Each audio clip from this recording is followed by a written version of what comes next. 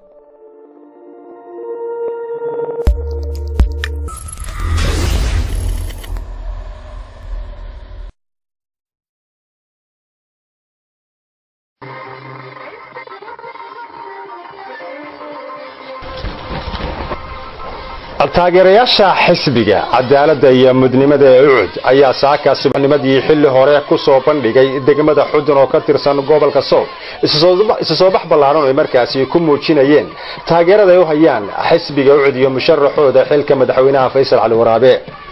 taageerayaasha xisbiga ucud ee degmada xudun ayaa socod dheer oo ay ku soo mareen waddooyinka magaalada degmada xudun. Waxay markaasi isugu soo urureen akhirkii barxadda xarunta maamulka degmada halkaasi oo ay ku soo bandhigeen fantasiyaad u ballaaran oo ay ka mid yihiin ciyaaraha hiddaha iyo dhaqanka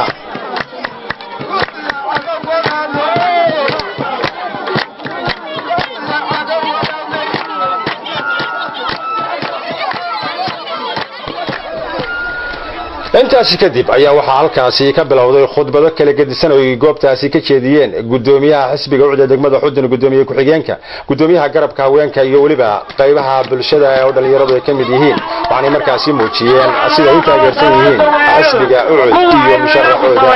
waxaana hadalladoodii ka mid ahaa bay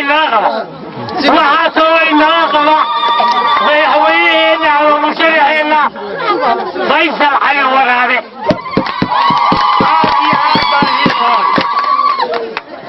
waxaan kaloo ka mahadcelinaya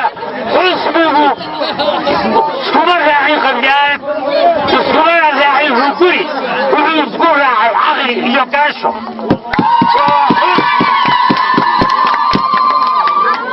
waa xusbi degan oo horu socda waa xusbi u dagaalamaya midnimo iyo qaanimo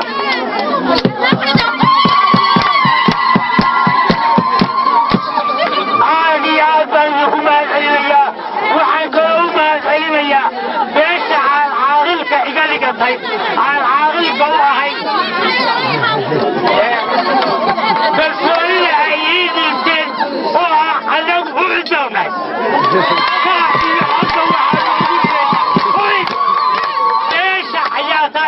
I think, I, I'll just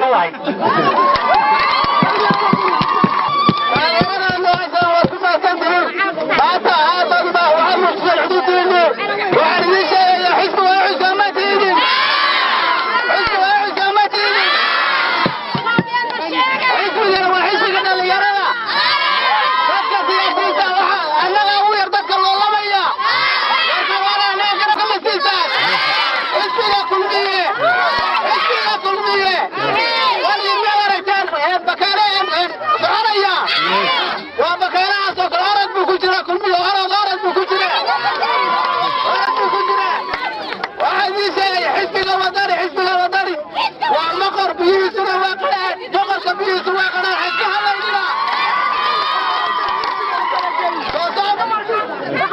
Waxaan u soo ballabaxnay maanta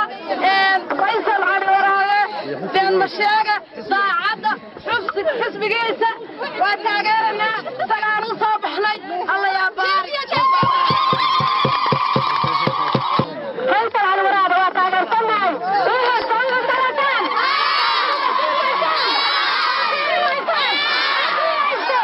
dhammaantood rag iyo dumar waxaanu taageersanahay maanta xusbiga cusub taageersanahay xusbiga cadaaladda iyo daryeelka xusbiga samaxina weyn inta dama soo wadano soo wadano